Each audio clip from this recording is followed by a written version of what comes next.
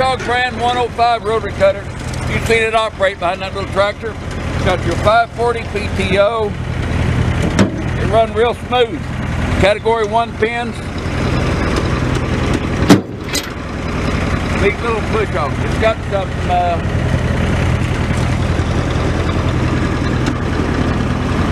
got a little non-factory weld here on this pipe here in the back, here and here. Good, little cutter, Bush Hog brand.